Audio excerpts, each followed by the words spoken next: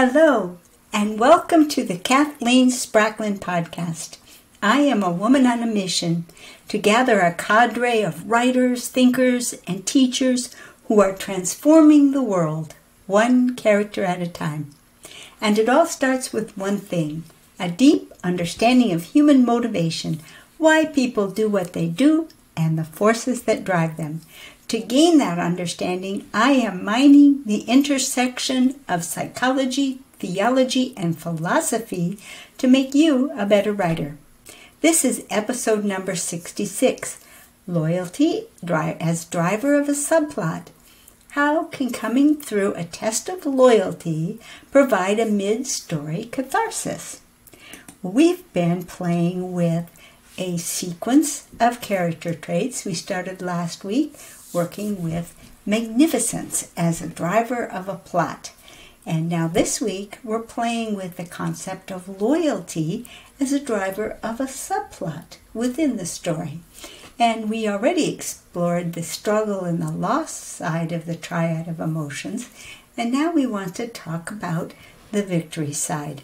We know, of course, that this as a subplot, this means that this was um, something that was going on besides our main story, maybe to add extra interest, maybe to bolster the story, or maybe to give our main character the extra courage or the extra strength or the extra character growth that needed to be able to ultimately pass the final test in, at the climax of the story. So here we are looking at loyalty as a subplot. And the question that we really want to take a look at this evening is how can coming through a test of loyalty provide a mid story catharsis? Because when you think about this, the emotional journey that you're taking your reader on, it gets to be an awful gulp of emotion to start from the beginning and make him carry all the way through to the very end of the book before he gets any satisfaction or relief of tension. So instead, by creating these a subplot or a plot milestone, that lets the uh, the hero have a moment of celebration. It lets the readers relax for a moment and put down the tensions. And it also can let our reader drop some of the information that he was trying to puzzle through.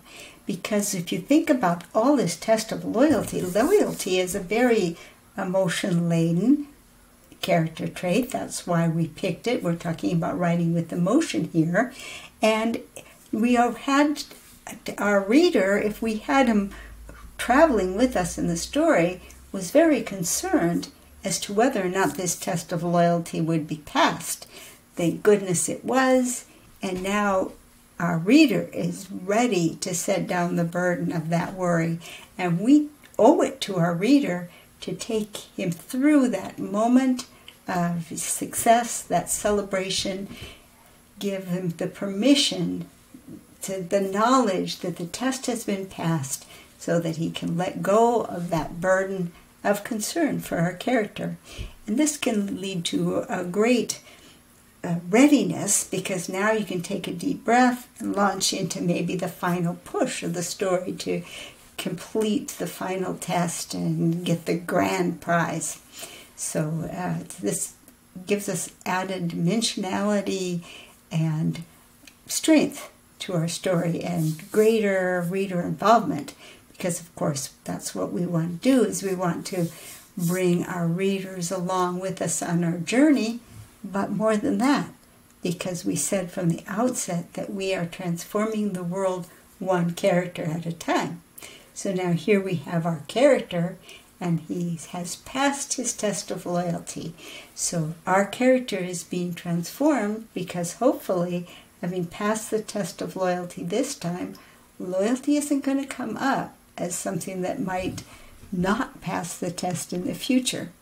So, uh, this is our what we're dealing with tonight is to try and think about how could your story be continued to have that moment of celebration, to have that chance to say, yes, Yes, he passed that test.